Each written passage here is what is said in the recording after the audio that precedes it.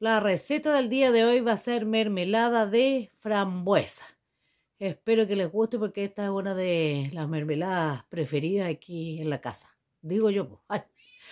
Así que aquí va la receta. Vamos a empezar el tiro, hermano. No voy a hablar mucho porque después me largo demasiado con el video. Ya vamos a ver la receta. Entonces, aquí para empezar, lo que voy a hacer yo es que la voy a dejar unas dos horas las frambuesas con, con azúcar antes de empezarlo a preparar. Unas dos horas con eso basta y sobra.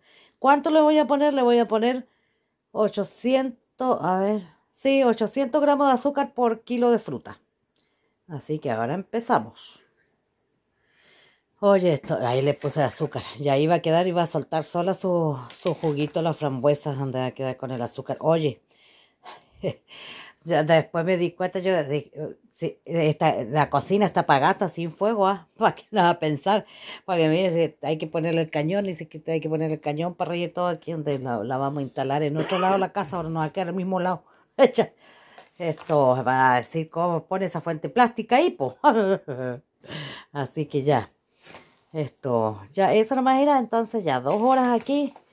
Yo la voy a mover, que quede toda revuelta ahí con el azúcar y en dos horas más comenzamos la mermelada.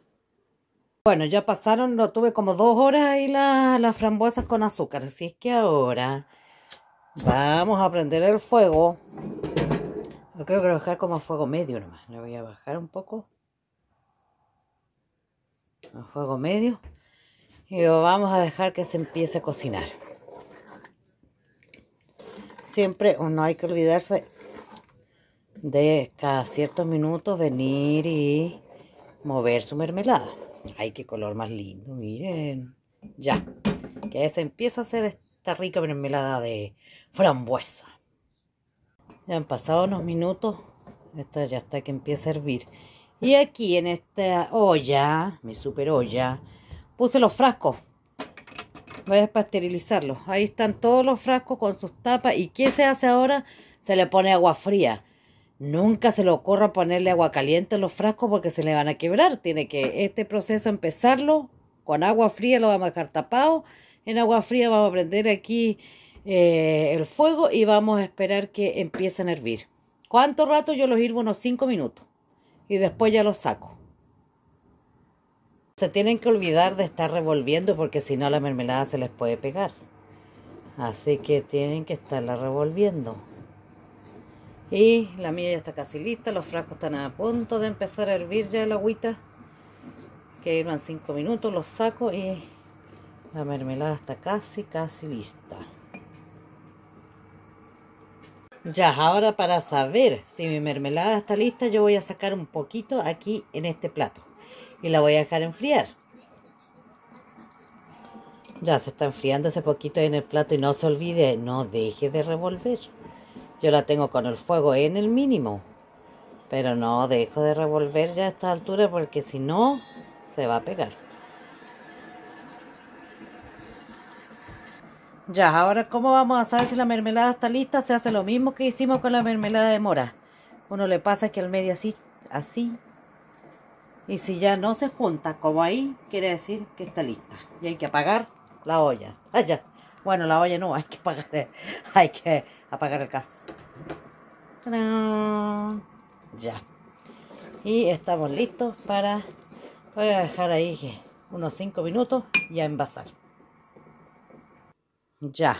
Y ahora estamos listos para envasar. Ustedes ya conocen mi super embudo. Ese ya lo conocen ya. Así que ahí está. Aquí está el cucharón y vamos a empezar a envasar.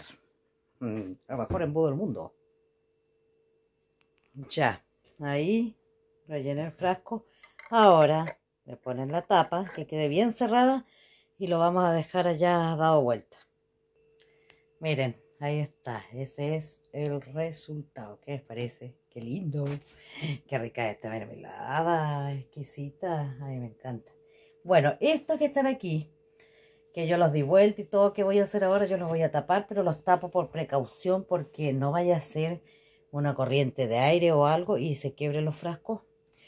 Esto lo dejo así porque estos son para que se sellen al vacío. Al dar vuelta el frasco y la tapa y todo eso se va a sellar al vacío. Y dura meses, un año, dos años, eso. Puede durar mucho tiempo.